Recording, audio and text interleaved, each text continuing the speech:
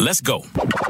You're listening to KZSU, Stanford University's FM radio station, broadcasting across the Yay area on 90.1 and across the world at kzsu.org. Welcome to Brands Beats and Bytes, hosted by Daryl D.C. Cobbin and Larry Taman. Brands Beats and Bytes stands at the intersection of brand tech and culture. We bring you interesting people and insightful points of view on what's popping and not popping in marketing, tech, culture, and beyond. DC and Larry are fascinated with the stories and people behind some of the best marketing in the business. No matter how dope your product, if your marketing sucks, your company may suck too. They both serve as managing partners at marketing consultancy Brand Positioning Doctors, where they help companies large and small, tech and non tech, build better marketers so they can build great brands. What's happening, brand nerds? I cannot believe that we are coming up on the end of summer. In a few weeks, Labor Day will be upon us. And I will tell you, brand nerds, this has been a very, very long year, a very long year Hope you guys have been having fun out there. We got one heck of a show for you all today.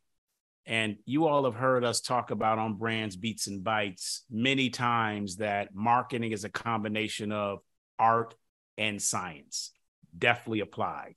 And even the name of our show keeps these two things, art and science, in mind.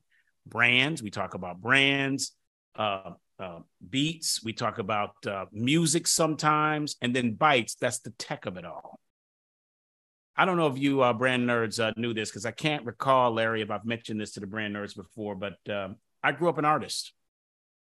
I don't think was, you have actually, D. I don't, I don't think. I don't, yeah, I don't yeah. think so, Larry. Uh, yeah. So when I was four years old, um, my mother had my younger sister and I playing violin, and uh, uh, I played on TV front of a TV audience at four. At 11, my mom got me a lead guitar. And so I played that lead guitar with folks that were a lot older than I was. At 16, uh, LT and Brand Nerds, my mom bought me a snare drum and then a trap set. And I actually got to uh, uh, my undergrad, uh, Alabama A&M University, on a music scholarship. Here's the point of all of this. Um, I grew up a performer. I grew up an artist, and I have been uh, thankful to apply what I learned as an artist and as a performer in my work. Because at the end of the day, brand nerds, in marketing and branding, it's really two businesses that we're in psychology and entertainment. These yep. are really the two businesses that we're in. And LT in the building today, we have someone who is an artiste. He's an artiste like I wasn't I was an artist. He he's an artiste. Okay, he's he's a, he's a former artiste, and he has applied that in his business. So brand nerds, listen up for those of you who who may be starting on the path that doesn't look like it's pointing directly to marketing or branding or business. It may in fact be pointing you exactly there. I am extremely excited, LT, for you to tell the brand nerds who we have in the house with us today. Oh, D, that's a great setup. We have John Rarrick in the house today. Welcome, John. Thanks so much. Great to be here, guys.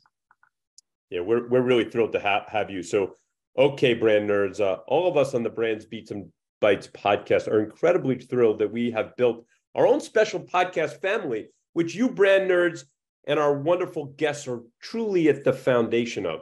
And I tell this inside baseball part since many guests are recommended by previous stellar guests. Well, one of those is Jill Dow earlier this year, album five, track seven, brand nerds. If you haven't listened, go back and check it out.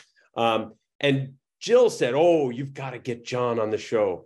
And after having met John in our pre meeting, we get why John is so highly recommended by Jill. So now let's give John his flowers. One of the great parts of our podcast is illuminating to our younger brand nerds there are many different successful paths into a successful marketing career. And that's what DC was giving a great preface to. So, John is a wonderful example. John attends SUNY Purchase, where he earns a BFA. And for those who don't know much about SUNY Purchase, it is known as a superlative school for the arts. Truth be told, I grew up about 15 minutes from there. So John takes this degree and pursues a career in acting and music and becomes a very accomplished stage actor and musician. Again, that's what DC was alluding to. So John, we're going to want to hear a lot more about this big pivot. But here, John decides to enter the business world. And D, check this out as the director of operations for WWE, or without the acronym, World Wrestling Entertainment, used to be WWF. So after a couple of years at WWE, John then goes and co founds PR firm Bullseye PR, which he successfully runs for nine years. John then gets tapped on the shoulder to go back to the client side at T Mobile, where he spends five years as their senior marketing manager for the Northeast. So John then gets a very cool opportunity to join Xfinity Home as their senior director of marketing. So D, check this out. John continues to move up the ladder, where he then jumps back to the agency side, joining BHSC Global Marketing as their SVP of Integrated Marketing and Communications, where he meets our friend Jill. And soon after, both John and Jill go to York and Chapel, and John is there as an executive VP of client services. And after a great few years at York and Chapel, with a confluence of all this great experience in and around technology, John then jumps back to the client side, where he is presently the head of marketing for Movius. For those who don't know, Movius is the leading global provider of mobile unified communications for the new world of work, offering productivity anywhere and compliance everywhere. Movius software and services integrate messaging, voice, and compliance into enterprise workflows, which help organizations like JP Morgan Chase uh, and UBS deliver better engagement for their clients. Enterprises around the world use the company's all in one mobility platform to connect with their customers in more convenient, cost effective, and compliant ways.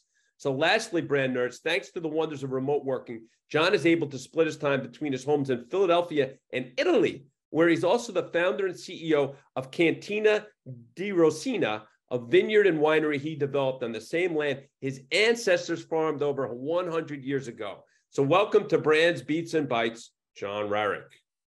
Thank you so much. Really appreciate that intro. And I got to tell you, you nailed it. That's pretty much me in a nutshell right there. it's a lot of stuff, John. It's very, very impressive. Thank you. Yeah, John. Uh, uh, Larry does such a phenomenal job of this. And it's interesting looking at people as so brand nerds. We're looking at John here on the uh, on the Zoom, but watching the expressions of people as they hear their own journeys read back to them. And I think it's a really, really cool thing because as as Larry said up front, this is about you getting your your flowers, John. So, a couple things. We're now moving into get comfy. I usually have one, John, but today I have two. I have two. So bring, here's bring it, here's, DC. Here's the first one, John. Here's the first one. So, uh, can you pronounce the name of your winery? I want to make sure that I'm getting that right. Yeah, Cantina di Rosina. So, okay. And, and, and Ros- Rosina was my grandmother. Wow. And without, her, and without her, none of this happens. Wow. And she was a, she was a fearless woman who emigrated to the U.S. in 1920, hmm. and basically instilled in me the values that she brought with her of just hard work and tenacity. Ooh, love it. Wow. Okay. Uh, what what's your uh, what's your grandmother's full name? Well, her full name was was Rosina Novello. Her maiden name was Conti, and I still have Conti relatives in Italy that I'm very close with. That's awesome. Wow. Okay. All right. So here's where I'm going. Um, um, I grew up, John, where I didn't know much about wine, had not consumed very much in fine wine at all. And truth be told, John and LT, LT knows this, I despise the whole industry. I thought it was snobbery on like at some exponent. And uh, really, I was just uh, uninformed. I was ignorant. And so I'll tell you a quick story and then I'll, and then I'll get into the question. Uh, so I'm out in uh, Silicon Valley. Uh, at the time, I was at the Coca-Cola company. We were uh, acquiring a company, and it was coming into uh, the company, and they would be working closely with my uh, my group as well as some of the senior executives. And so here we are. Um, here we are out in um, in Napa Valley because we the company's in San Francisco, near San Francisco. So we're in Napa Valley, and the the guy who's with me, who is who was the human resources person helping us with this Hal Boyd is his name. Shout out Hal Boyd. He is really into wines, and he says, "Hey, hey, uh, hey, DC, you, you drink wines?" no, I don't drink wines. He asks why, and I go into why I don't drink wines. He says, "Uh, okay, would you be open to trying some things with with me on this uh, uh at this dinner? Sure, I'll do it. I like Hal a lot, trust him. So he says, uh, um, so we're we're now at the restaurant's called Bricks, I think, B R I X. He says, uh, he says, John and LT, um, have you ever had uh, foie gras? And I'm like, I don't even know what that means. What, what, what are you talking about? So then he explains duck liver, that kind of thing. I'm like, okay, I don't really like liver that much. And the, thought about a duck's liver. So, eh, I don't know. But I, I, I said, no, I haven't had it. He said, would you be open to trying? I said, yes. He said, have you ever had a sauterne? I said, I don't know what that is. And he told me, hey, it's a, it's a, it's a wine. Um, some have it for dessert, but it also goes very well in pairing it with uh, foie gras. He says, Are you open to having that? I said, Yes. He said, So here's what I want you to do. When they arrive, the foie gras and the uh, and the sauterne, I want you to take a small slice of the of the foie gras, put it in your mouth. Don't swallow it. Don't swallow it. Okay. Then get the sauterne, and then swallow the uh, uh, uh, one swallow of sauterne and take down the foie gras with with it. So this is what he said, John. I have not been the same human since. I've not, I've not been brand nerds. It turned me out. Okay, it turned me out. So here's my question to you, uh, John. You have a winery. You you split time between Philly and Italy, and you are on the grounds of your ancestors of a hundred years. What is it that you are taking from this experience the care and things that you give to the vineyard that you apply to your business? Are there corollaries? Absolutely. You know, you mentioned it in your intro about how there's an entertainment quality to marketing. Mm-hmm. And what's entertainment other than tapping into emotions? Oh, yeah. Mm-hmm. I made a decision that anything I was going to do in my life was going to tap into my own emotions that I chose, ones that I ones that I wanted to elicit, joy, happiness, um, you know, just community, and that helped steer my steered my career in the directions that I wanted. Is to keep that keep that focus, um, staying away from negativity, and the feelings that I get when I'm in Italy are well, from the first time I was ever in the village where my grandparents were from, which is called Coronchio, I almost just felt like I was supposed to be there. Mm-hmm. And I don't mean always year round 365, but you know, it it felt like I was connected to it immediately. And when I looked at acquiring the the old vineyards and the house of my grandfather, it took me no more than five minutes to make that decision. In fact, I picked up the phone, called the guy who owned it because I had heard he was looking to possibly sell. I made him an offer on the phone and he accepted and that was as easy as it was. Boy, man, if every if everything you bought was that easy, it'd be pretty great life. But uh, it was meant to be. Um, so for me, it's there's a real emotional connection to the to the area, and to the land itself and the in whatever products we can produce from the land. I want them to bring people that same happiness that I feel making it. Ooh, that's deep. Wow. Wow. Well, uh, John, uh, I would like to uh, partake of some of the vineyards uh, releases. So we'll talk about that after the. Uh... I know a guy who can arrange that for you. cool.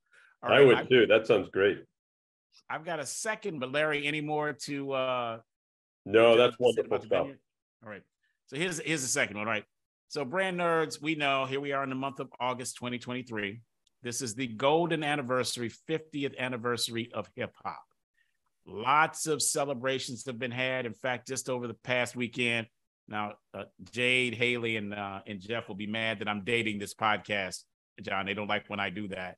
But just this past weekend, there was a celebration, a big one at Yankee Stadium, also one here in Atlanta, uh, where we are. And there'll be more throughout the uh, the month of August. And brand nerds, you all know how much I love the hips and the hops. But before we got on to uh, on to recording this podcast, I did a little kind of fake rap on my one two one two. And then John said, Hey, hold on now. I, I might have a story around this hip hop thing for about three hours. So What's up with that, John? All right. So, 1983, um, when I was at Purchase College, my, my girlfriend's father was a record producer. And I was trying to uh, I was trying to win him over. So I was just trying to let him know that hey, I, I know a couple things about music. Uh, do you mind if I hang out in the studio with you one weekend? Um, what are you working on? He goes, Yeah, I'm working on a record. Come on by. And I, I said, Can I bring anything to help it out? He goes, What do you got? I said, Well, I, I just won in a card game a Linn drum machine. For the folks listening at home, that was one of the first ever sampling drum machines. It was wow. a, a, low, I mean, compared to today's st- standards, the it was a very low qual- quality sample. But hey, it could sample off a record, and you could take that sound and turn it into a beat. Right. And uh, I had the book and everything. I won it. I actually won it in a card game um, on a bluff hand.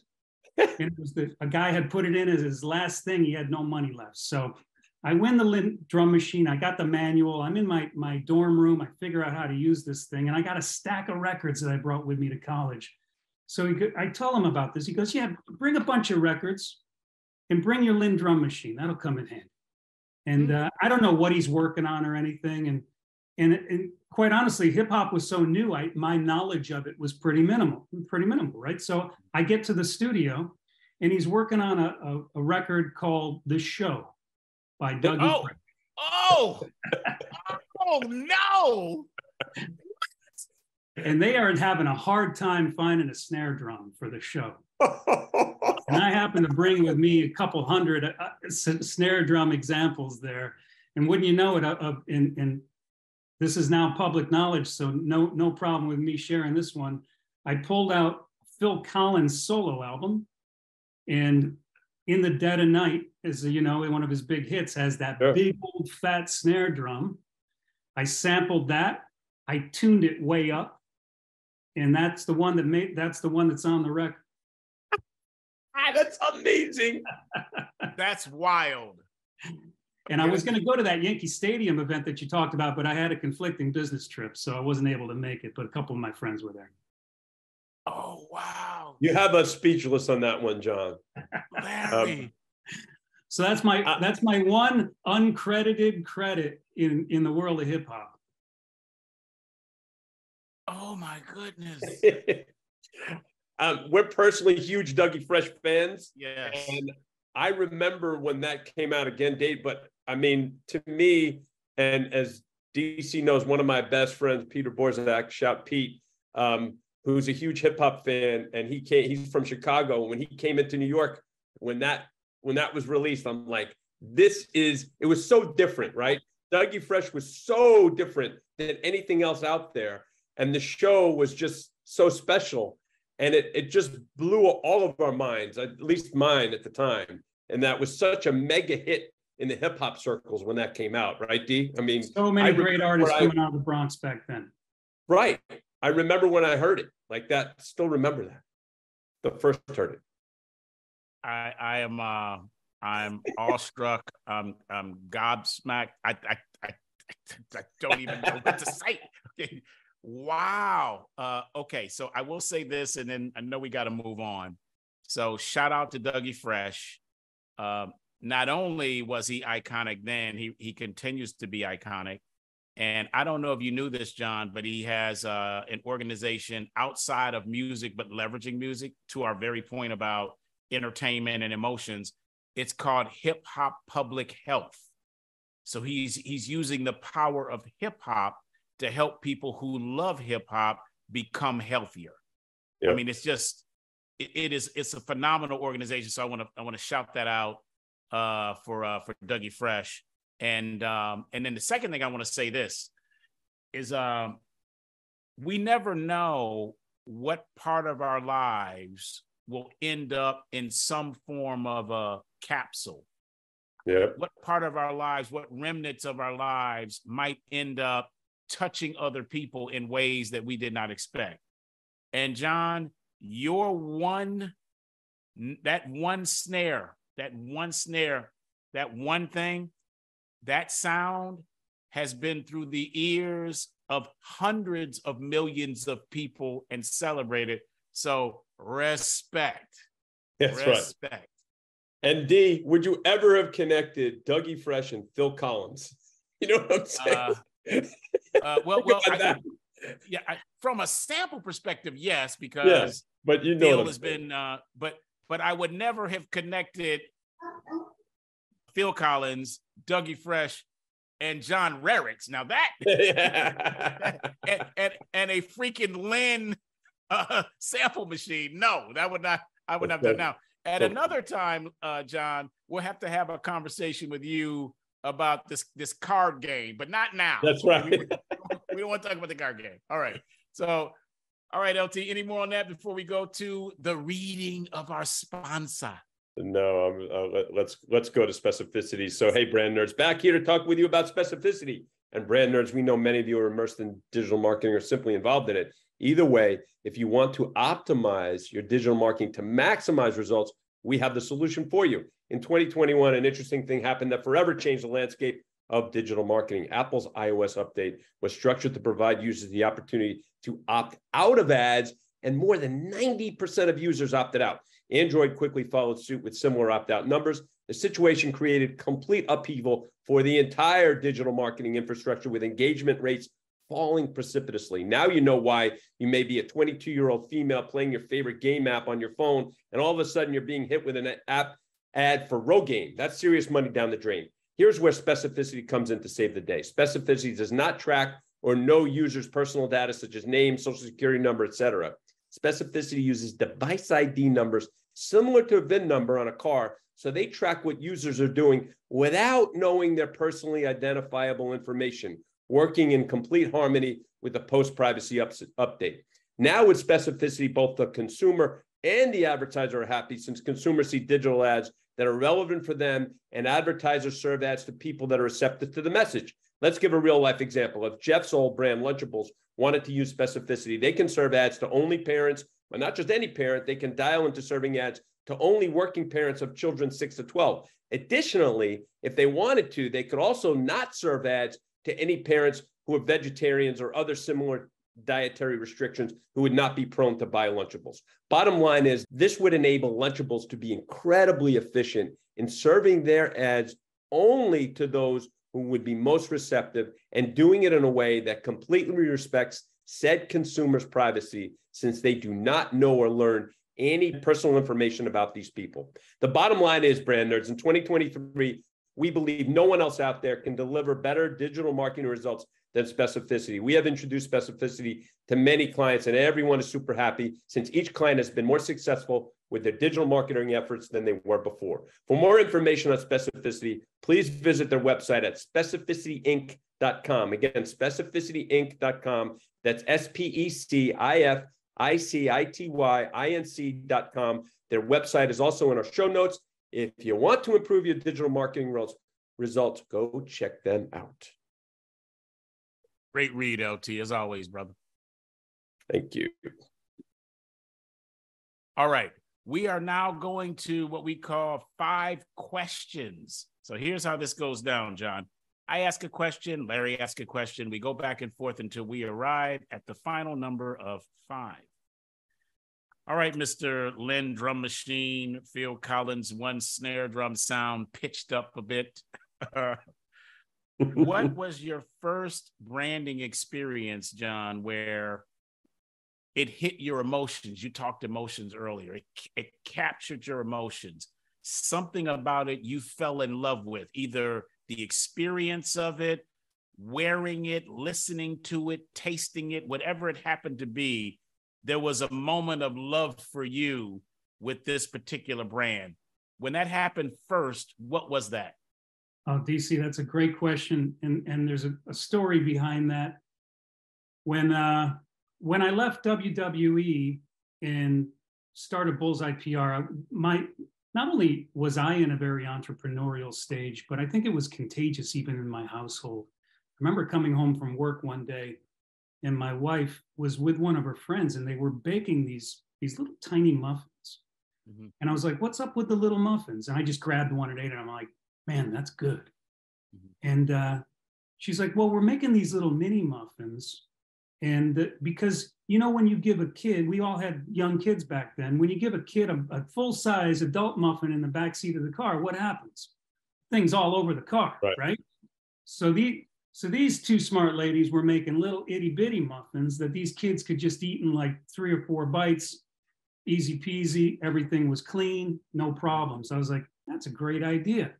Mm-hmm. Well, they listened to when I said that's a great idea. I just said it off the cuff. And about a month later, they came to they I get a call at work. Hey, can you come home for lunch? We got something we want to run by you. And when a woman says that, you should probably the best thing is to run for the hills. But I did come home for lunch that day. Mm. And uh, they're like, we think that these things would we're we're giving them to all of our friends and their kids. We we think it'd be a great business. Mm. I was like, okay, go ahead, and go back and write a business plan mm-hmm. and uh, come back to me with a business plan and we'll talk about it. Now, I just figured they would never do that, right? That that's what that's what everybody says to somebody who comes to them with an investment opportunity. You're like, let me see the business plan.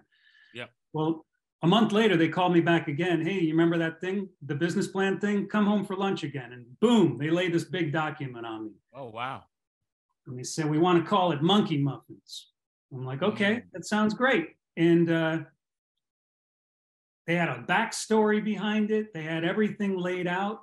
They had really thought this thing through, but mostly the product was insanely good. Mm-hmm. So I was all ears. And when it came time to launch Monkey Muffins as a business, we needed to do some major branding. And that was part, I was mostly in acquisition marketing at that point. So really branding and brand development was not my thing. So mm-hmm. I sought out the advice of a number of people that I really trusted for some of the companies I'd worked for in the past or people I knew in the agency space who had done that. And I listened. And we did it the right way. I hired a great designer. We actually put it out to RFP and I got sample designs from three or four different, oh, wow. different designers till we found the look we were looking for. And then once we started to, we, then we started to dig into what the brand means and we got deep into it. Like where's that emotional tie to the brand? Who's going to be our audience? And we really pinpointed it down so that we knew we wanted to make sure whatever was the visual identity really rang the bell with with the audience not only the parents but the kids who were going to be ripping into these packages. And then we did focus groups and started to actually put some hard data together. And the focus groups were all young moms with young kids um, and we did them over and over again until we started to get some some commonality with the data we were receiving, with the images we were showing, until we landed on this awesome cartoonish monkey that everyone seemed to love, with the color palette seemed to resonate, and then we tweaked the color palette a few more times. The branding process for this product was about six months. We could have gone to market much sooner, but right. I knew it was going to be that important. And I, I want I knew also you have one chance to launch a product. Mm-hmm. Say that again, John. You have one chance to launch your product. Mm. Yep. Take a step mm. back and do it right. If it's 30, 60 days later than you wish it was going to be, it's okay. Make that happen because you can't go back in time and redo it. And if you did redo it, you probably lost the little audience you already had. So when we did launch this product, um, we it only took about a year and a half to get in 500 plus stores from Vermont to Virginia. And we built this as a Northeast product in supermarkets you probably heard of, like Food Emporium and oh, yeah. and Pathmark. And you know, sadly, it was prior to Whole Foods because that would have been the perfect location for it. Because these muffins, right. they were all natural. The first ingredient in every one of them was a fruit or a vegetable. It was really a, quite ahead of its time and uh, it, the, they had a great six-year run, and it was a, the brand was acquired by a private equity firm. But I'll always remember that as getting it right the first time, mm-hmm. and I preached that since that day. Great story. That is a hell. That, wow, wow. That's a great story. I'm glad, and I'm glad you walked folks through the whole process because uh, what you're saying is there's a right way to do this. There's a right template to do this. And you took all the right steps. And it doesn't mean you're guaranteed success, but it sure increases your odds. Mm-hmm. Absolutely. And then also, LT, what I heard from John is they did research and uh, and some analysis. So you got yep. some of the hard uh, financials in the business plan. So that's what he asked for first, and then he goes right to the emotional. Like that's right. How are we going to make an emotional connection to both the parents and the and the children? So once again, that art science piece that we've talked about that uh, that John has, uh, it it came to uh, came forward with this particular project. Yeah, DC, I'd, I'd, you know, it'd be really easy just to talk only about the emotional, but I always stress the business planning part because right. without without the proper plan, the finances in place, all of that, it's just a dream. It's just a yeah. dream you can't make come true. So the two have to come together, and they both have to come together in a really in a very realistic way. It can't all be a kumbaya. Nope. Great. Point. John, uh, one quick example before we go to the next question. When I was in at Tropicana, uh, brand nerds know this. I was at Tropicana, you know, um, uh, juices, and Tropicana had this really cool, great new product idea that uh, was going to be this thick, viscous, you know, 100% natural juice um, that ended up to be what Jamba Juice and everything else was a few years later. But they couldn't figure they knew like that there was a great consumer need but they couldn't figure out a, a way to make it work uh, financially because they knew it had to be you know 100% natural and all those things. And they and they just the economics didn't work um, but while the consumer demand they knew was there so there's an example yeah, one, That's one a other build, example, LT. I'm going to build on that LT and then we'll go to the next question. Perhaps another reason, and you would know this, Larry, not me, why they they didn't move forward with it is when you're Tropicana and you don't have 100% natural in everything you do. Yep. If you come out with a like a line extension, if you will, or new brand that says this is 100% natural, you might have consumers responding to it in the way that I responded to McDonald's when they released a quarter pounder and it says now with fresh beef, and I'm like, okay, what's in the other stuff? right, right. All right. Larry, you want to do the next question? Yeah, let's hit the next question. So, John, whose hatter is having the most influence on your career? Oh wow! You know there are there are so many influential people that I've I've brushed up with along the way. Um, you know, I think I'd like to cite two. And Please. Oddly enough, they're they're they're not in my industry, nor are they in marketing. But I learned lessons from them both. The first one was a professor I had um, his name was Dr. Joe Stockdale, and he was a pretty renowned Broadway director that I had. I, I, I was fortunate enough to have him as a writing teacher when I was at Purchase. And as a freshman, I thought I was a, a great, I, you know, uh, uh, I was full of myself. I thought I was a great writer. And if anybody's ever seen that movie, A Christmas Story, when Ralphie turns in his, uh, in his essay and he thinks it's the greatest thing ever, um, only to find out perhaps not the greatest thing ever. That's kind of what happened to me. I uh, I turned in um, a, a, report, I think on like a streetcar named Desire or some Tennessee Williams play, and I thought I thought this thing was the most solid paper I'd, I'd ever written. I was certain that I was going to get accolades, and uh, he dismissed the class after a lecture, and he goes, "Thank you, everyone. Uh, Mr. Rare, if you could stick around for a few more minutes, uh, I'd appreciate that. Joe Stockdale was a big, six foot four, skinny kind of Ichabod Crane imposing character. And uh, he says, he, he says, listen, he goes, I said, what can I do for you? He goes, I have one question for you. And he pauses, and I'm like, now he's going to tell me this was a great paper. This is my moment in the sun. He goes, just tell me how the F you ever got out of high school. wow. And it was, it was like he just kicked me in the side of the head with a roundhouse kick. And I just stood there mouth agape. And he's like, you need to learn how to string three sentences together properly and then come back with a new paper. And I was just devastated. I went back to my apartment, and my brother is an English teacher for 30 years, a high school English teacher. And I called and I said, I need help. My brother sent me every style guide you could possibly imagine. He goes, read these books, call me in a couple of weeks and you're going to send me writing samples every month until that happens until until we've improved your writing. And my brother helped me through there but without joe stockdale i would have continued thinking i was good. Like sometimes in life you need somebody to send you a big old wake up call and it doesn't happen often because we live in a world of platitudes and you know just handing out compliments sometimes and and trophies for participation. And every now and then somebody's got to tell you hey you're not very good at what you're doing. Get better. And that one lesson set me on the path to just get good at writing. And without that skill i could never have done what i've done throughout my career.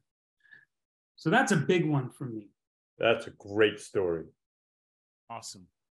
I have another one. And this one, again, no one in my no no one in my field, but as a kid, I and still to this day, I loved baseball. In fact, at one time, it's if you had asked me probably until age 18, like what I wanted to do with my life, because I was relatively successful in high school baseball and beyond, I would have told you that's what I want to be. Um, and that's the kind of attitude you have to be if you want to be a professional athlete. No question straightforward. This is what I'm going to do. Um, I was a big fan of Louis Tiant. So for those of you at home who don't know who Louis Tiant is, he pitched for the Boston Red Sox, the Cleveland Indians, New York Yankees throughout his career, and he was incredibly effective. Now, in, early in his career, this guy could throw heat. He just blasted by you, no problem. And somewhere around halfway through his career, he had an arm injury, and he could no longer bring it. So what did he do? He didn't quit. He just reinvented himself yep. and figured out a way to throw the craziest curveballs with the most insane motion to hmm. completely baffle the batter. And when I say insane, he would twist around. He would he'd have a leg kicking up in the air. You didn't know where it was coming from or wh- how fast it was going to be. This guy went on to win 20 games over and over and over again to become one of the most successful pitchers in baseball history. And I always admired the fact that he was he, he, he could continue to recreate himself. I was fortunate enough when I was at Bullseye PR to meet him and to have him involved. I had created a charity that that one of my clients was was um, in charge of, and when we were at an event in Boston, I reached out to his agent and got him to participate in the charity to sign some things honestly, I probably brought him in mostly so that I could meet him. because I, I, wanted to thank him. And he was the most gracious guy ever. And, and, and he was just so thankful that I, I took the time to not just say things about baseball, but to apply what I learned from, you know, to, to know that I had applied things I learned from him in my everyday life and my career, which is just because you might have lost a skill or your skills might have diminished for whatever reason, or just an environmental change out there somewhere changed how your skill fits into the world, you can still change yourself and continue to move forward. So shout out to Louis Tiant. He's still out there smoking those big Cuban cigars. what a great story. I remember Louis Tiant well, and the way you described it is perfect because he just figured out he was seemed like he was a step or two ahead in, like you said, deception, right? And and just figuring out. Uh, we go. One of the our things is we have uh, seven connection points, and one of them is performance. And he did it with style and performance, like no one, no one else. Those, yes, right? Absolutely. Yeah, um, Luis T, and then I'm gonna come back to uh, Professor Joe Stockdale, but with Louis T, uh, because he was prolific after he lost his uh, his heat. Uh, most don't even realize that he lost his heat. They just think about the 20 games he he won year after year after year with the theatrics. So that's uh right. that's Louis T. But back to your Professor Joe Stockdale story. Brand nerds, there were three quick, like a little little phrase that had a letter and then two words in it that I want to call to your attention that John said that it is okay, in fact, helpful for us to say when we get into a situation where maybe things aren't going the way that we expected them to go or maybe hoped that they would go. And they are he said to his uh his brother, "I need help. I I need help." And we all need help. It is when we think we don't need help that we have problems. All right? mm-hmm. I need help. That's that's a great story. Two great stories. Two great stories. Uh, Larry, should I go to the next question? Please do. All right. John, you've had many successes in many different areas. I mean, you you you, you got a winery for for for goodness sakes here. So you've had some wins. You've had some what we call W's, some dubs. But for this question, I am utterly uninterested in any of your W's. Utterly uninterested. I only want to know about the L's, the loss. And if you could take us to pick out one of your big juicy L's where you made a mistake and it was a loss, and then give us the second L, which is what you learned from that loss. What's the biggest F up for you? Well, we talked about um, when we talk. I guess first, it's it's important for me to say that if you're going to take big swings, you're going to miss the ball sometimes, right? But right, that's part of the game. However, you should try to mitigate the misses as much as possible. And there's and sometimes smart people don't listen to their own wisdom, and this is the case of that. So we talked earlier about that monkey muffin branding project that was successful. And why was it successful? Because I knew what I didn't know. I knew that I had to reach out and for help. I knew that we needed data to back up what we were doing. And the execution was pretty seamless. Well, if you fast cut to about 10 years later, I had a client, um, and we'll, re- well, the client for this discussion will remain anonymous, but it was a it was a boutique candy brand, and they were launching a, a line extension of their candy bars into a, a wafer bar. And everything I did, I, I was absolutely certain on what this product should look like, how it should feel, what emotions it would resonate. And the client wanted to get to market pretty fast. So we took some major shortcuts. And by that, I, I, I did everything that I normally wouldn't do, which is I didn't do any focus groups. I used no data. I went completely with instinct. And as you guys know, the old adage, you know, without any data, you're just another knucklehead with uh, with an opinion. Insert right. other word for knucklehead there, of course. Yeah. You know what I'm talking about. yeah, you do. yeah, we used you know subpar subpar designers I don't think I wrote a very detailed brief for subpar designer. Like everything we did was shortcutted to try to get to market too quickly. And I would call it hubris. I would call it failure by hubris. Like I was so certain uh-huh. that just my instincts alone could right. launch a successful product. Mm-hmm. Now, listen, if it was my company and that was my choice, that would be one thing. But when you're trusted with a client's brand, you absolutely have to, you cannot take shortcuts. And I did that. And the product was not successful.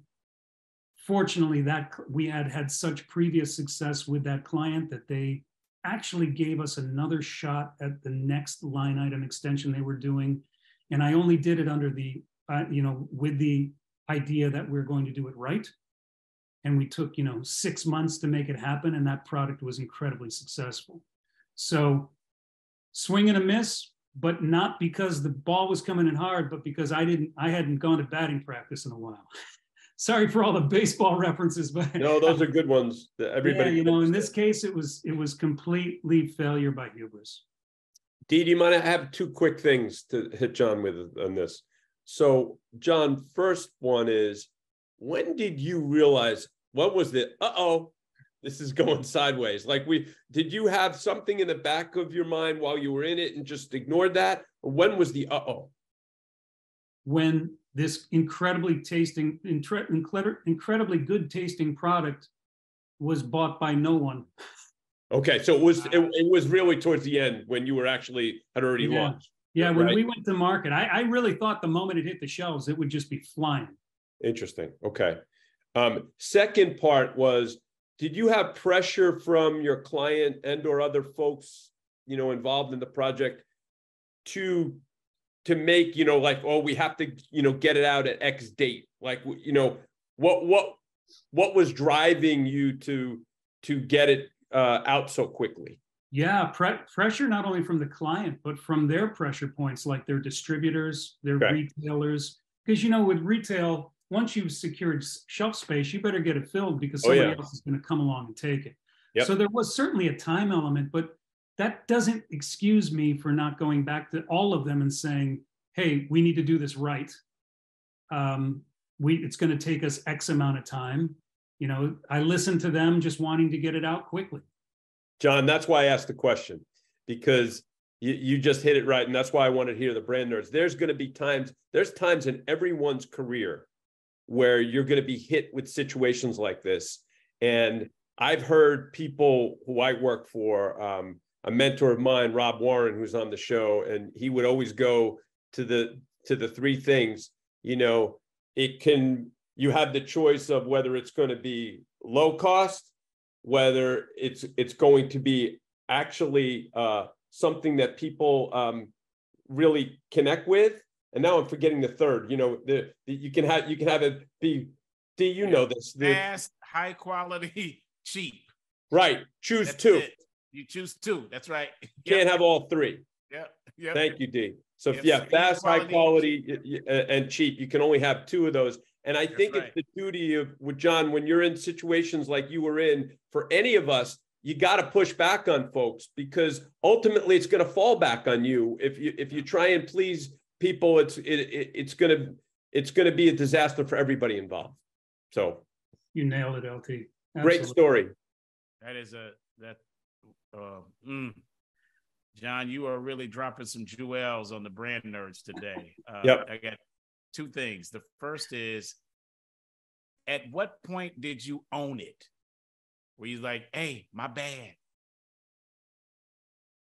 Oh, I remember going home and contemplating who I could blame. Mm. Mm. And then knowing that that next client meeting, there was no one else to blame but me. So I took probably took me a day. There was there was certainly a part of me that that looked around and said, wonder if there's a way I can get out of this. Yeah. Oh, that's so real. That's so real, John. It is. Mm. Mm. Okay, second thing is this, uh, brand nerds. Um, at the Coca-Cola company, um, one of the senior executives there now, who I have been um, um, friends with for for now decades. Her name is Bea Perez. Bea. Perez, uh, one of her hallmarks in her career is she helped the Coca Cola company really get uh, explode on the NASCAR scene. So this is one of the things she did, uh, along with other very smart people at the uh, Coca Cola company. So one day during one of our senior management meetings in uh, in North America, she had one of the drivers come and talk with us uh, one of the NASCAR drivers that were on the Coca Cola team.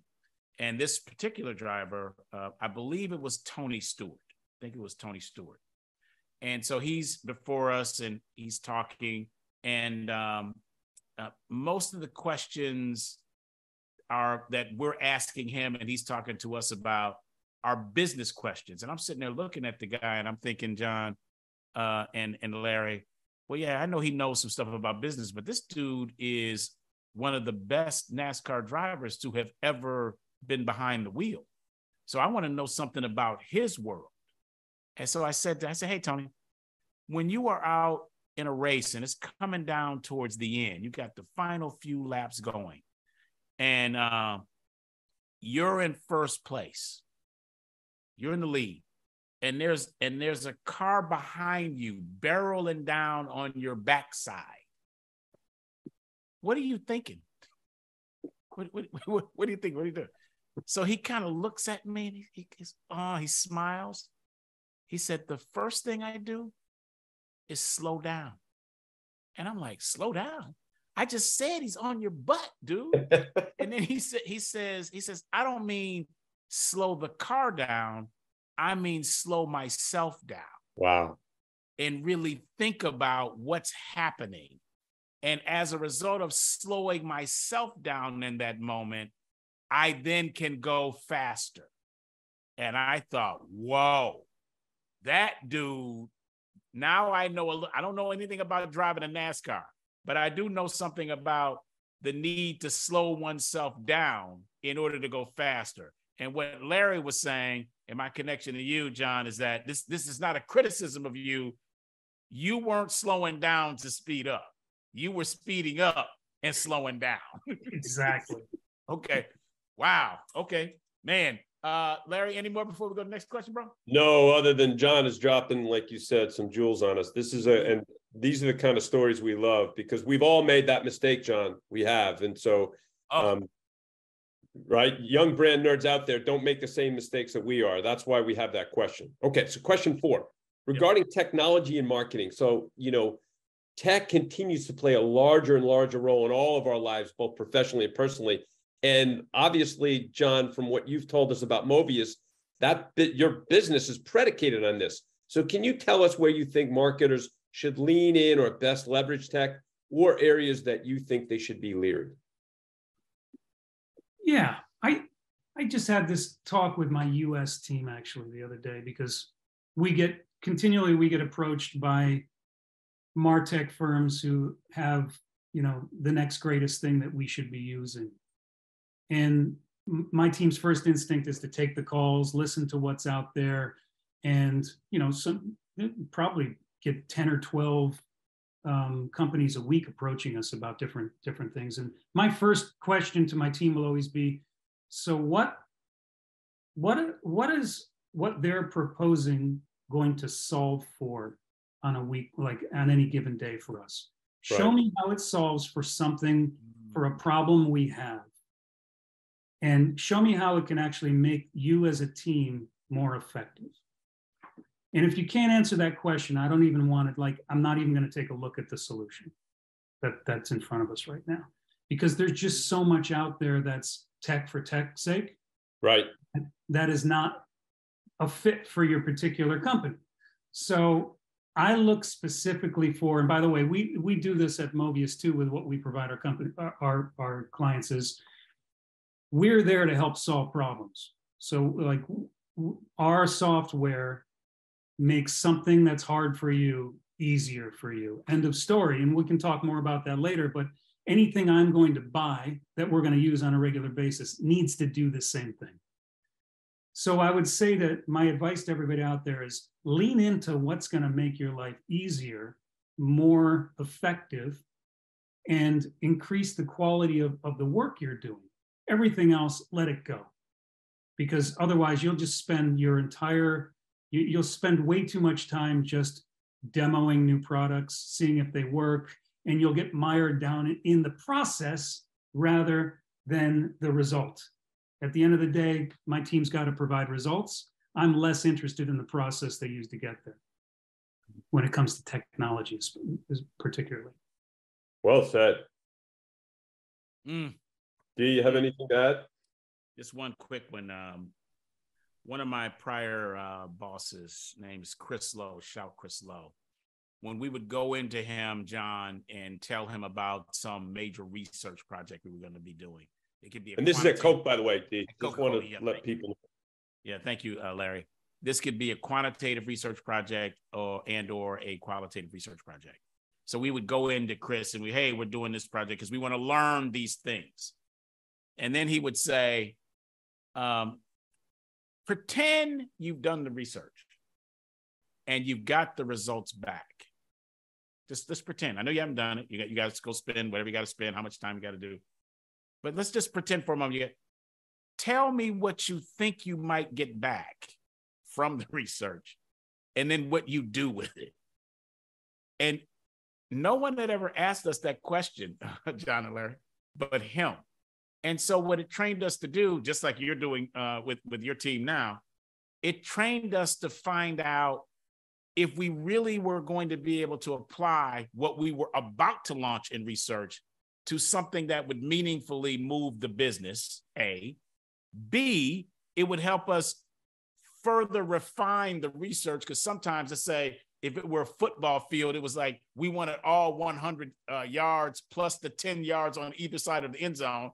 And then we would kind of bring it in from like the 40 to the 40. So we'd be more yard line to yard line. We'd be more narrow. In ter- so that would make it speed up. It would also make it cost less.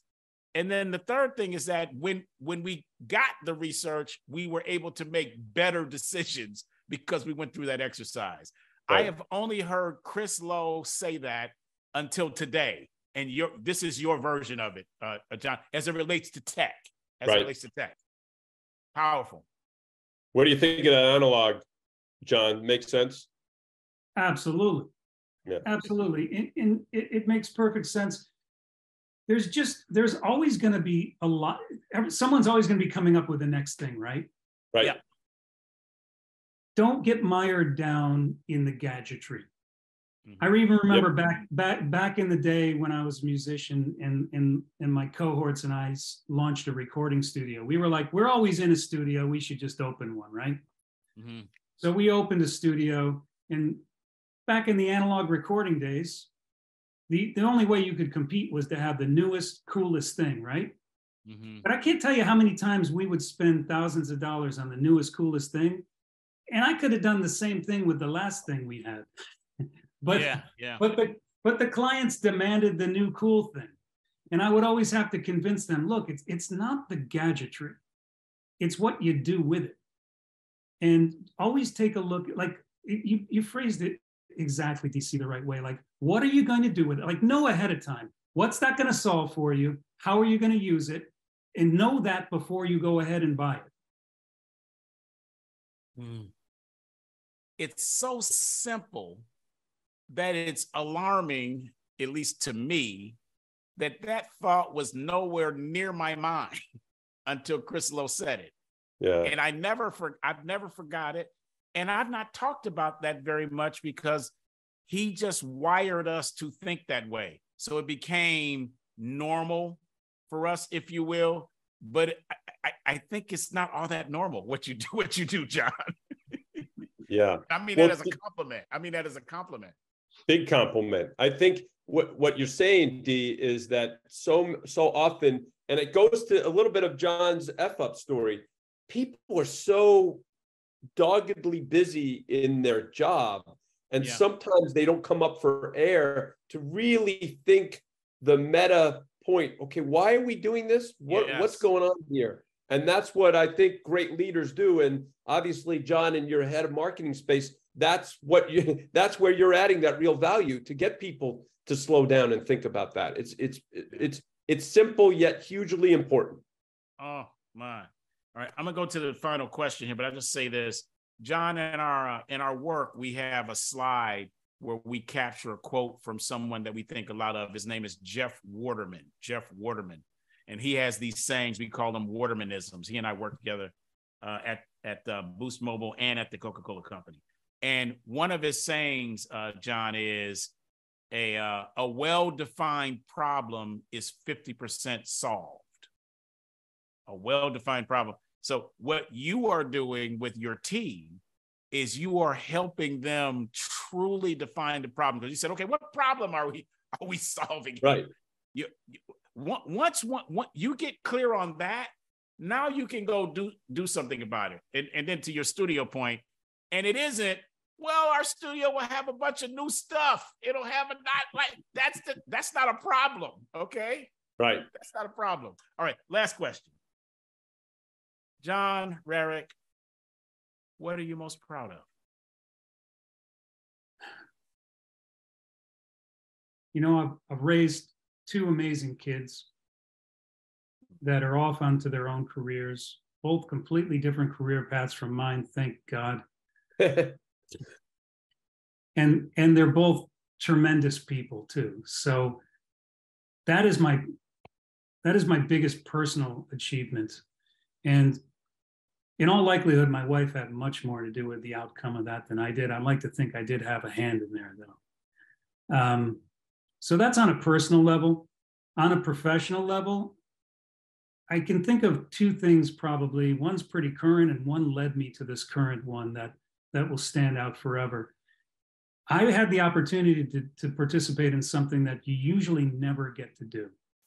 Um, in 2011, Bullseye was just knocking it out of the park. And sometimes when that happens, people step up. And I, long story short, I, we had a great exit with a private equity firm. And mm-hmm. suddenly I find myself not knowing what the next chapter of my life's going to be.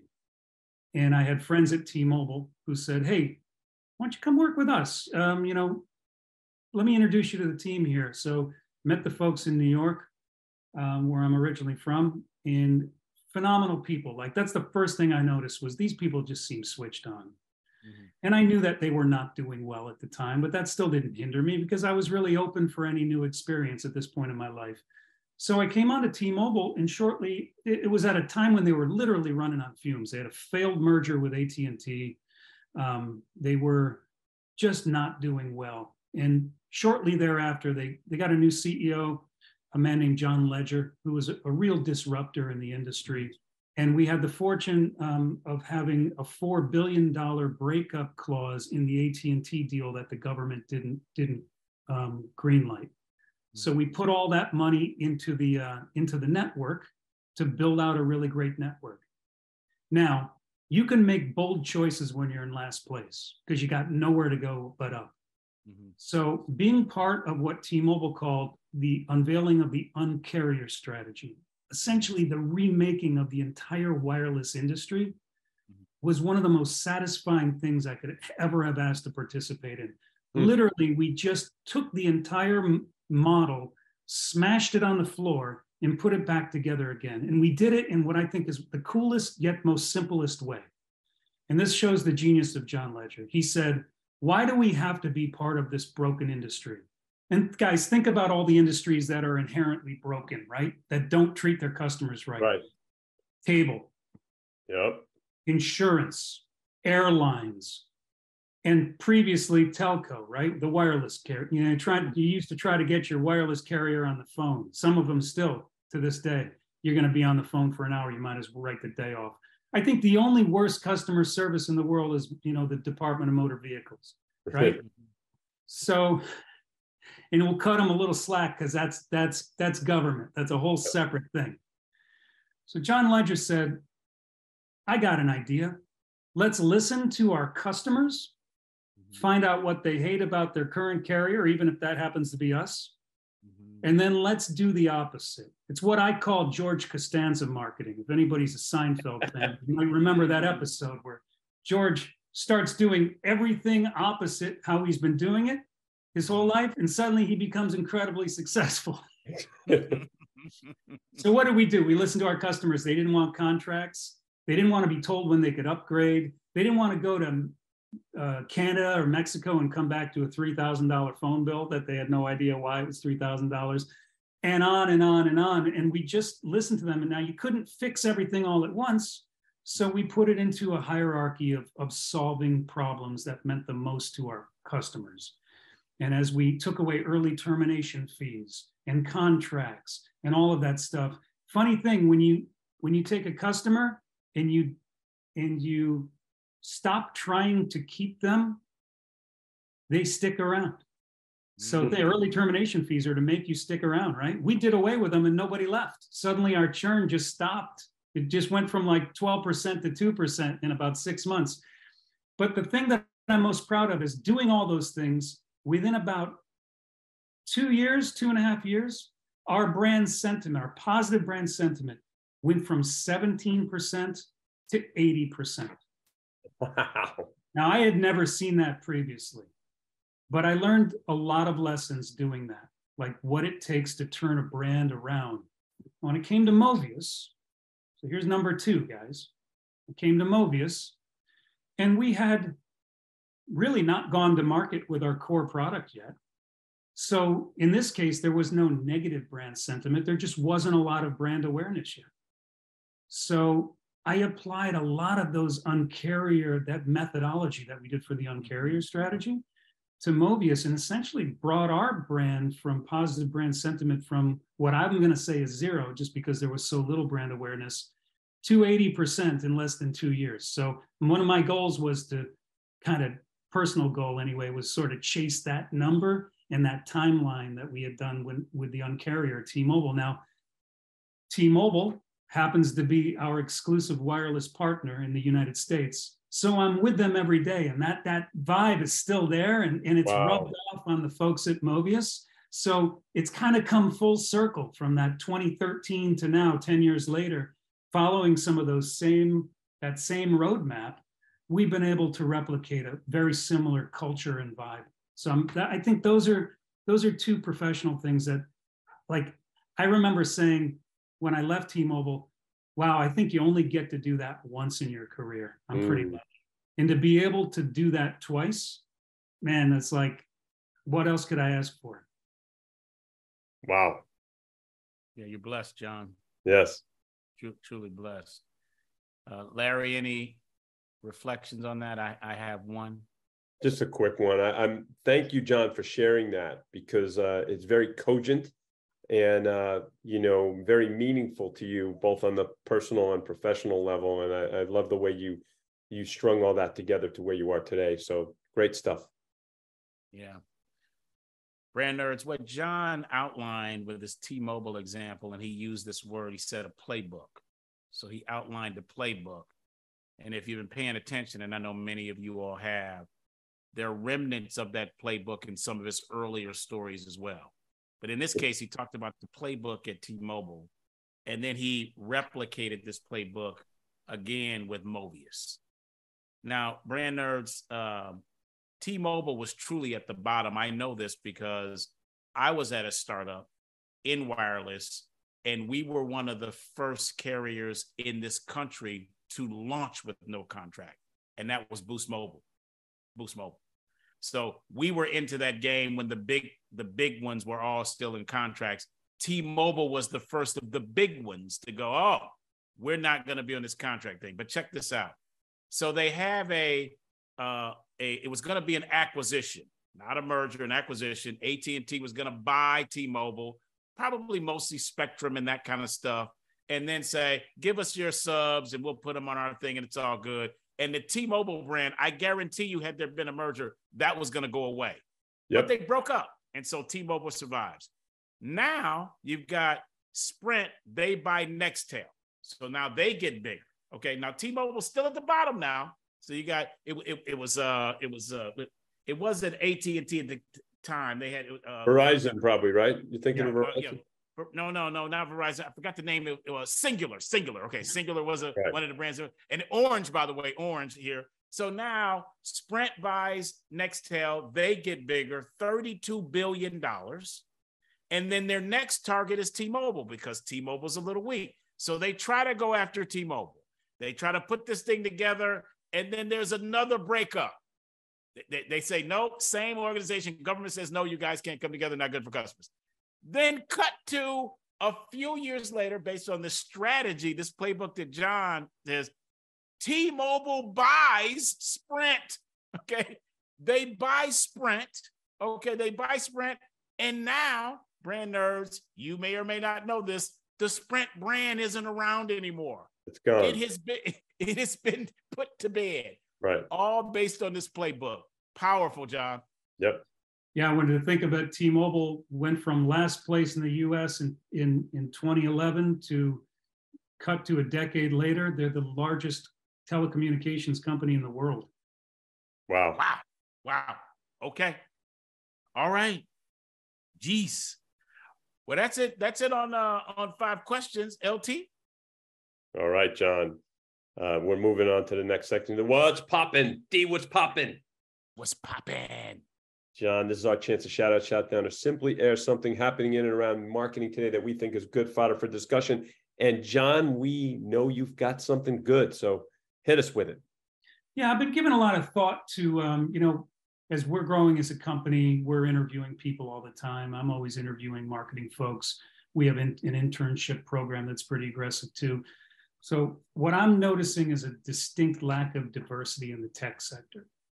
And you know, it's it's really baffled me. And I noticed that even in my agency days, we, you know, um, we've got a mutual acquaintance with Jill Dow, and and even when I was looking for designers, there seemed to be a lack of diversity. but really much more so in the tech industry. Like people of color, women, I'm just not seeing enough of them. And it's not for lack of trying. You know, we we post a job and you interview who who applies, and you go down the list and you're looking for the best people. So I've been trying to figure out why is that? Like there's got to be a cultural reason for it. And and how can we, and I mean we in technology, collectively solve the issue? And I and you know, I don't think it's for me to crack that code. I think it's got to be a joint effort with a lot of folks, with with the education system, with um, just basically making folks out there know that these these are careers that are out there. If you want to learn how to do this, you know there are there are paths to get you to that point. Um, do I have the answers? No. Am I really excited to try to find other like-minded people who want to come up with the solutions? Yes, because you know it's it's always on my mind when I look around on a Zoom call and I see that it, it like, hey, just where's the diversity in, in the crew? And at Movius, it's it's at the front of everything we do from a hiring standpoint for sure. But I don't see it with a lot of other companies that I'm on calls with. And I'd love to know, and I, I think it's a topic for discussion here and beyond, and for, for all the other folks you talk about, where do we start to make that happen? So my what poppin is not I have an answer. My what's poppin is more of a question that I think is going to be an ongoing question for a while until we can figure it out. But until we do, I think we're holding back a lot of great creativity. What a great what's popping. What a great what's popping. Larry, you mind if I take this one first? Please do. Wow, John. Um, I don't know what the numbers are, um, but uh, I do know that in terms of uh, percentage of uh, of folks working in STEM, that it is uh, amongst the lowest of all sectors in the uh, in the country and the world. I do I do know that. I don't know what the specific number is. So you have a question. Let me attempt to um, answer it. And I don't have all the answers, but I'll attempt to give a couple. The first is, John, something that you're doing. You've made a shift, and I would recommend that other firms in the tech space and beyond consider the same shift. You have moved from passive recruiting to active recruiting. Passive recruiting is I put out a job and whoever comes, comes. That's passive recruiting. Active recruiting is when you go, hold on, wait a minute. Be, I'm not just going to put out a job. In addition to putting out a job, I'm going to actively try to figure out how I can solve, to your earlier point, this problem. I'll give you an example. So, where, where do you go? This is just one, and this will sound self serving, John. I don't mean it to be so brand nerds, but it, it is. Uh, one of our clients is Tuskegee University you may or may not have heard of an organization, legendary, John, called the Tuskegee Airmen. The Tuskegee Airmen. So, brand nerds, for those of Certainly you who may not, yep, those of you who may not uh, know, but go look at the movie Red Tails. There was a, uh, a, a, a squadron and beyond of African American airmen who fought in wars, and they often f- fought the most dangerous um, uh, missions and they did not have the same kind of equipment. They did not have many of the things that the rest of the military had, yet they were astonishingly successful. All right, so this is this is what the um, uh, Tuskegee Airmen were about. So that university has a history, John, in tech. You don't have pilots and engineers, et cetera, without some tech. So perhaps moving to my second uh, point here is that it's about with whom you partner and a, a university like Tuskegee University, this is just one, could begin to be a resource to get a pipeline. And there are universities like this all over the country with people of color. So that's the second thing is that find a partner that can guide you to it. The third is senior level women and people of color and diverse folks. When you start to hire senior level folks, I have done this and I've seen this, John, they bring other people with them. So their passive recruitment actually becomes organizationally active recruitment just because their base is different. So those are some of the things that I would say right off the top for you and, and others to, to consider. So that's where I am. Larry, what say you? Yeah, I, this, uh, John. So first, John, thank you for bringing up this topic. Thank it's you. an important one. It, it, really is, and and so you know, um, D, I, I think you're going to laugh at this. Well, not necessarily necessarily laugh, but um, we have uh, somebody named Kevin Thurm. Kevin Thurm is the CEO of the Clinton Foundation, and um, we've gotten to know Kevin. Uh, he's a wonderful person, and we were talking about some things. And Kevin said oh, yeah. that it is up to quite honestly, white males and other folks who are in the quote unquote majority to go out and find someone who does not look like them and find those people. And so it does it, it to DC's point, it, it can't be passive. It's got to be more uh, in the in the prominent part of what one is doing. So uh, DC, just so funny, he brought up Tuskegee, which is a wonderful client of ours. DC and Jeff, uh, Jeff Shirley, our, our producer, they they went to Alabama A&M, and they are some of uh, it's an HBCU um, in Huntsville, Alabama, which is Rocket City, right? And yeah.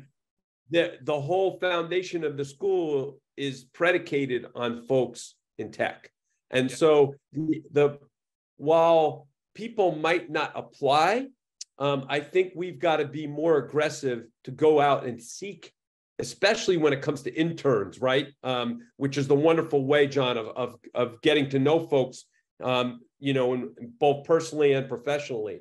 And so that's that's what I would say. That it's it's got to be much more prominent in uh, in what people are thinking and, and and actively seeking, is what DC was saying, not, not just falling back and thinking who's applying. Thank you, guys. There's there's some wisdom there. I like both of those points of view, and um, definitely have given me some ideas to take back to the team. Awesome. Excellent. We can have more conversation on that too, if you'd like. Yeah, Larry, I was going to say the same thing. So, John, if you would like to, as a follow up, uh, talk with us about any ideas we have, and we're not looking for business here. This is just purely for the betterment of humanity and yep. business. These two going together. We, we'd be happy to have the conversation with you, brother, and whoever else you'd like to invite. Thank you welcome. Yep. Welcome.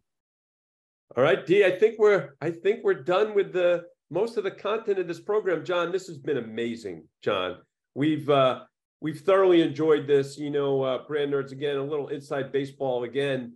We have pre meetings with all of our guests, and almost all of them we go, oh, this this is this guest we think is going to be really good, and uh, you know, ninety five percent of the time that's true. And this is one of those where John is like, I knew 100% this was going to be great. So, John, uh, you've uh, even exceeded those expectations. So we appreciate you. So now we're just going to go to our, our learnings here. So John, I have multiple learnings, but I'm going to do five with a bonus to uh, to Jeff doesn't like us to do even numbers. So it's five with a bonus. He does not. So, he does not. So, so here's my, I'm going to go quick. So number one, John talked about this early. Um, brand nerds, when you're thinking about marketing your brand, you got to tap into emotions um, and when it comes down to it, it, it also comes down to you personally. So John talked about being conscious. He was choosing, I want to tap into a career where I choose my emotions of joy, happiness, and community. That's really powerful. That's the first one. Number two, like John's Joe Stockdale story, if you're lucky enough, like John, to have someone deliver what seems like bad news, don't view it as bad. Feel fortunate for it and take the criticism for self improvement to move your life forward. So that's number two. Number three, uh, this is huge, brand nerds. Know what you don't know and know what you're good at. And outside of that, outside of those realms, seek the best people to help you. So that's three.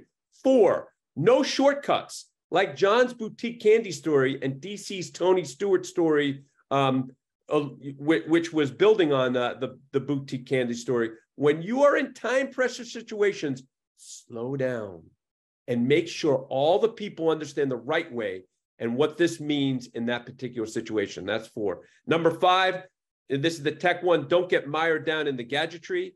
And numbers, and the, the last one, the bonus, and this is huge, brand nerds. In any phase of marketing, B2B, B2C, no matter, you got to listen to the customer or consumer. You got to start there. Those are mine. Phenomenal, Larry. John, you may or may not have heard some of our podcasts. If you have, then you have uh, noticed, at least I hope you've noticed, that at the end of it, I make an attempt to describe uh, the human that is before me and recognize some of the gifts that they have. And man, have we been uh, blessed, John. We've had so many epic guests drop so many pearls of wisdom. It's it's been overwhelming to just be a part of this. And so I'm going to attempt to do the same thing with you, John. Attempt to do the same thing with you. So let's see how this goes. It always goes well, John. you're raising it. You're putting pressure on me. I'm trying to slow down, slow down. Let me That's right. You're putting pressure on me. All right. When we uh, in, we're in the get comfy section, and we talked about your winery. You mentioned that it was uh, named after your grandmother, uh, Rosina. And um, and then I asked, are there any connections between the winery and your your business experience? You talk about you talked about emotions. Larry mentioned them, joy, happiness, community. These are things that were important to you, and you intentionally chose those. Like, where can I go as John, where I can experience joy and happiness and and community? I'm, I'm thinking about this. I'm going, hmm where did this come from for uh, for John? So I so I went to my friend here, uh, our the business partner, Chat GPT, and uh, uh, I looked up the name Rosina.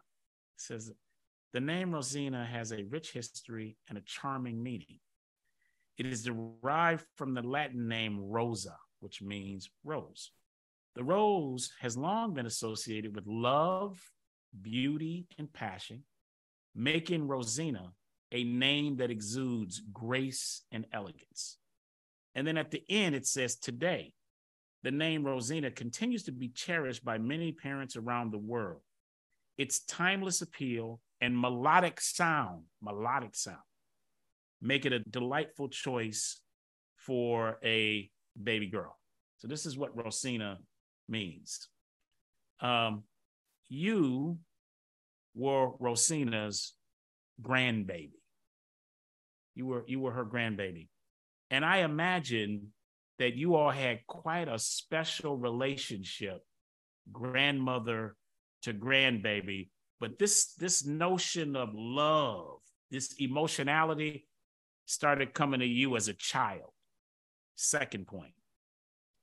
Now you're talking about your wife and her friend. They call you home for lunch. Hey, come home for lunch. We got to talk to you. You're thinking, should I buy a ticket somewhere? But you go, you come home. You come home. Uh, by the way, what's your wife's name? Her name's Robin. Robin. Okay, so Robin. So you come home, you talk to Robin and her friend. What's her friend's name? Lisa. Okay, Robin and Lisa. Shout Robin and Lisa, and they tell you about this uh, this idea they have. You tell them do a business plan. They call you back. We've got it. We got the business plan. Uh, Robin and Lisa, and the thing's called Monkey Muffins.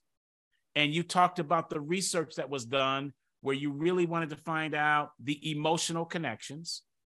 And then you said the reason why the product was good was because it was small and it could fit in the hand of kids. You said the big muffins, they're all over the place. You know how that works. Kids. So now we got Rosina and her grandbaby and we've got your your wife who is saying, I got something for kids. So now we got these kids coming in, baby and kids. Here's my third point. And I'm and I'm I'm I'm coming home now. I'm getting ready to come home now, John. Um, you said after an exit, and by the way, he said good exit for you brand nerds if you're not understanding the nomenclature there. In current day lexicon, that means that John got the bag. Okay, that's what that means. He, John got the bag. All right. So he's he's talking to T-Mobile because they say, "Hey, come to New York, talk to us at T-Mobile." And he knows that from a performance perspective, they're at the bottom. But he said there was something about the people, something about the people, the culture, and the vibe. All right. And then he mentioned this. He said, you know, on this on this uh, uh, on uh, positive brand sentiment, in a short period of time, we went from 17 to 80, 17 to 80. And then he hmm. mentioned with Movius, he had the similar experience where it started here and then it went there, here, up, and then, I mean, down and then up. Okay, so now let me bring all of this home. We have grandbaby you, John, to Rosina. We have kids that were touched by uh, monkey muffins. And then we have people, adults, culture and vibe, but you're still looking for these emotional connections. Here is what I believe is your gift, my brother John. You are the creator of, a, of business seesaws for big people. business seesaws for big people. When they ride on the seesaw with John Rarrick, they have fun. Ah, wee! They have joy. they have happiness. It becomes a part of the culture.